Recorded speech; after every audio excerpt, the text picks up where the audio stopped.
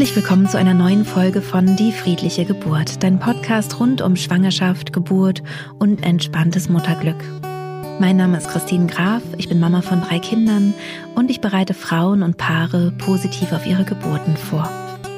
Heute möchte ich zur Feier des Tages, zum, zur Feier des neuen Jahres, äh, dir wieder eine Meditation zur Verfügung stellen. Und zwar eine Meditation, die dir helfen kann, eine neue Gewohnheit in deinem Leben zu etablieren. Denn wenn wir unser Unbewusstes mit reinnehmen auf unserer Reise zum Ziel, dann gelingt es viel leichter. Hierbei ist es ganz egal, welche Gewohnheit du vielleicht etablieren möchtest oder was du vielleicht lassen möchtest in deinem Leben. Es hilft dir, wenn du mehrmals diese Meditation dazu hörst, es ist auch, wenn wir ganz ehrlich sind oder es genauer nehmen, keine richtige Meditation. Es ist eigentlich eine Mentaltrainingsübung. Das heißt, dass wir mit deinem Unbewussten in Kontakt gehen und dein Unbewusstes davon überzeugen, dass es sinnvoll ist und dich glücklich machen wird, eine neue Gewohnheit zu etablieren.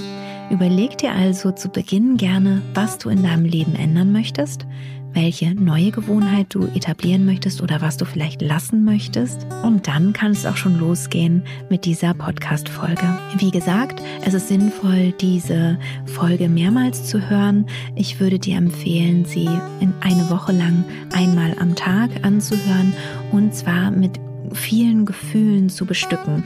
Das heißt, dass du nicht nur einfach hörst und so ein bisschen mitgehst, sondern dass du mit einer großen Freude dabei bist, dass du dich sozusagen innerlich auflädst. Denn je stärker dein Gefühl ist, desto mehr hat dein Unbewusstes den Eindruck, dass es total sinnvoll ist, dem zu folgen. Also lade dich gerne mit positiven Gefühlen auf während dieser kleinen Reise. Ich wünsche dir ganz viel Freude dabei. Mach es dir einmal ganz bequem, setze oder lege dich hin, atme tief ein und aus in deinem eigenen Tempo und schließe deine Augen.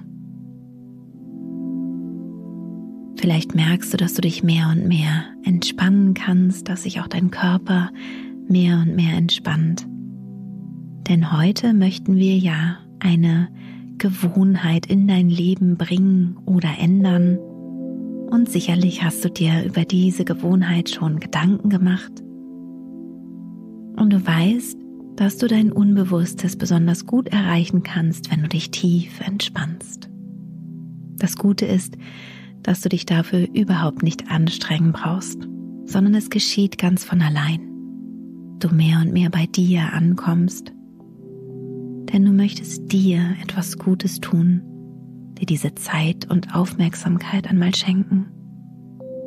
Und vielleicht merkst du schon, dass sich dein Gesicht zu entspannen beginnt, deine Muskulatur ganz weich wird.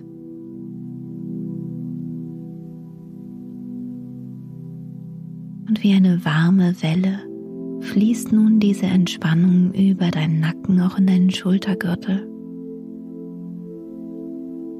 So angenehm hier einfach mal loszulassen. Dein ganzer Körper darf sich nun entspannen und einlassen auf diese mentale Reise, die dir gut tun wird, die dein Leben positiv beeinflussen wird.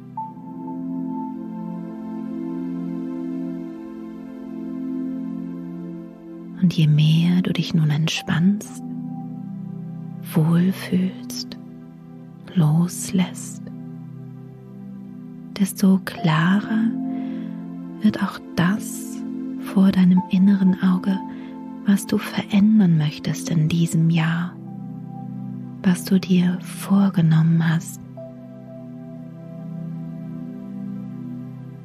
Stell es dir einmal vor deinem inneren Auge vor fast so, als könntest du dich selbst von oben sehen, wie du dich verhalten möchtest.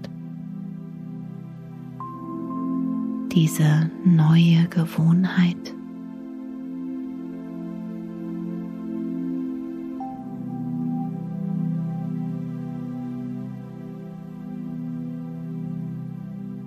Und wenn du dich so von oben siehst, mit dem Verhalten, was du dir wünschst, dann achte einmal auf dein Gesicht, wie glücklich du aussiehst. Wie glücklich du aussiehst, während du das machst, was du machen möchtest, deine neue Gewohnheit.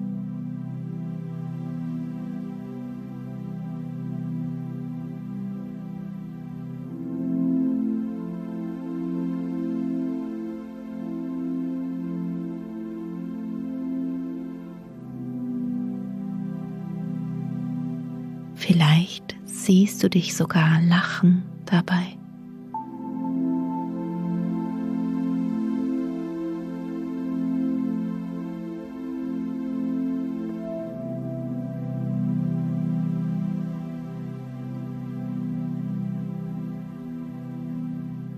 Und stell dir einmal vor, dass du diese Gewohnheit das ganze Jahr über praktizierst im Frühjahr, wenn alles anfängt zu blühen.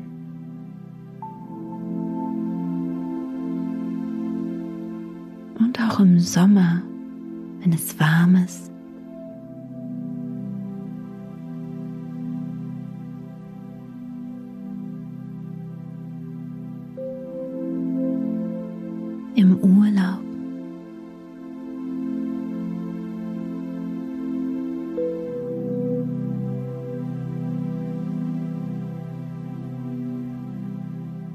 Und vielleicht hast du den Eindruck, dass du immer glücklicher und glücklicher aussiehst, je länger du diese neue Gewohnheit durchführst.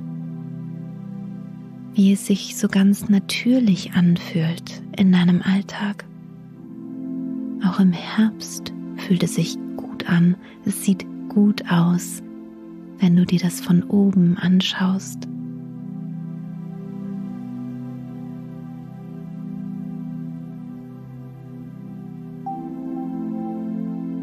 Und auch im Winter.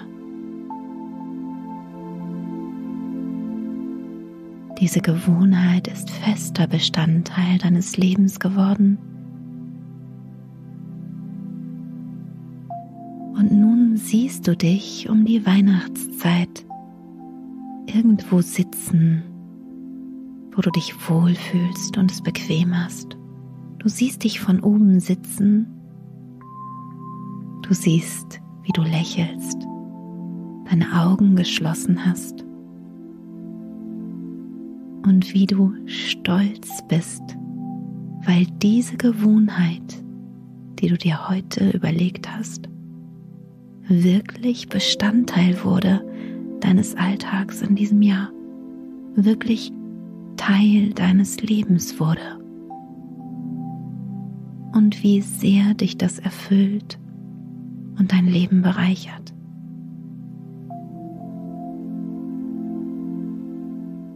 Nun ist es so, als könntest du in dich hineinschlüpfen, in diese Person hinein, die du selbst bist, die da sitzt in einem Jahr. Und du spürst, wie stolz du darauf bist, dass du diese Gewohnheit in dein Leben hast integrieren können. Wie fühlt es sich an, wenn du in einem Jahr da sitzt und so auf das vergangene Jahr zurückblicken kannst?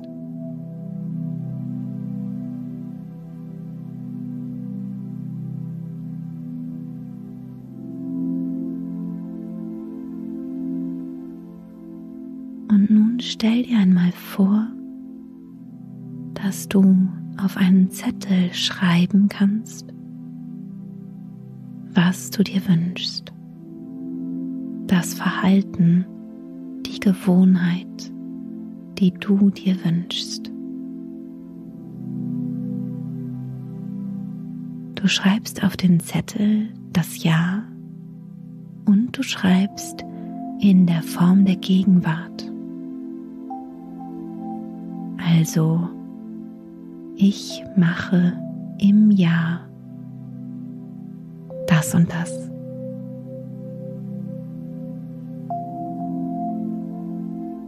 Schreibe es so genau wie möglich auf. Schreibe nicht ich will oder ich werde, sondern dass du es jetzt schon tust.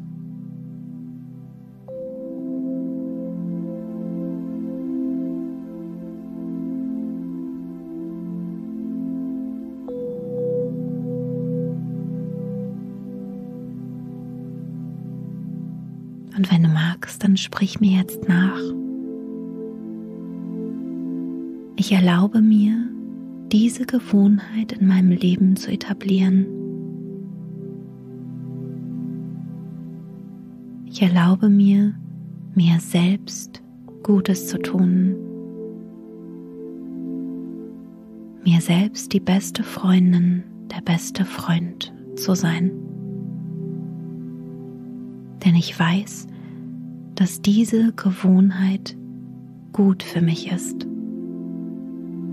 Jetzt danke. Es ist geschehen.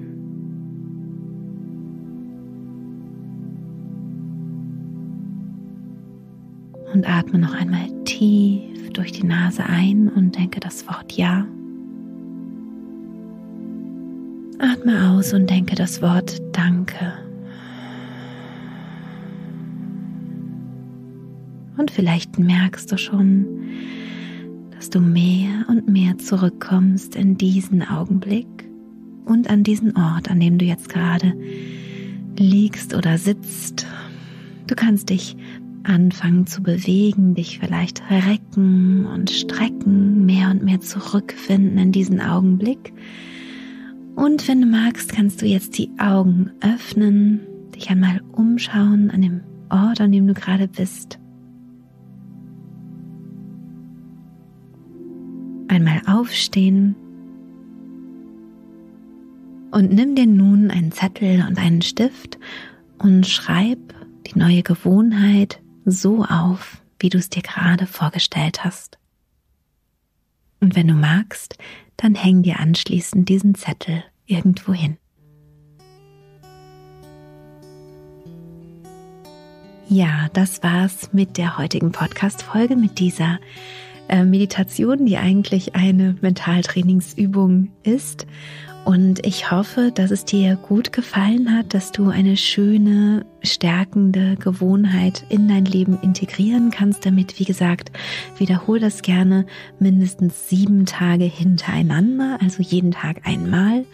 Und äh, du kannst es auch gerne ja noch ein bisschen länger machen, aber ich würde es dann auch irgendwann loslassen. Also jetzt nicht das ganze Jahr jeden Tag machen oder so, sondern eigentlich in der Regel reicht es, wenn man das sieben Tage lang macht. Und dann wünsche ich dir natürlich mit deiner neuen Gewohnheit alles Gute und viel Freude und dass es dich auch wirklich glücklich macht in diesem Jahr. Und wenn dir diese Podcast-Folge gefällt, du das Gefühl hast, jemand anders möchte vielleicht auch eine gute Gewohnheit in seinem Leben etablieren, dann empfehle doch gerne diese Folge weiter. Und ich freue mich, wenn du mir auf Instagram schreibst unter der heutigen Podcast-Folge und vielleicht sogar aufschreiben magst, welche Gewohnheit du in diesem Jahr ähm, für dich integrieren möchtest in dein Leben. Und das hat tatsächlich auch eine ganz tolle Wirkung, denn in dem Moment, wo du das aufschreibst und sogar mit einer breiten Öffentlichkeit teilst, ist die Wahrscheinlichkeit noch mal größer, dass du es auch wirklich durchziehen kannst und es dir Freude macht und dich daran erinnert, hier habe ich ja wirklich etwas mir vorgenommen. Und das ist natürlich dann ja auf jeden Fall hilfreich für das äh, Jahr, was jetzt vor dir liegt. Ich wünsche dir natürlich ein wunderschönes neues Jahr und alles Gute. Bis bald. Deine Christine.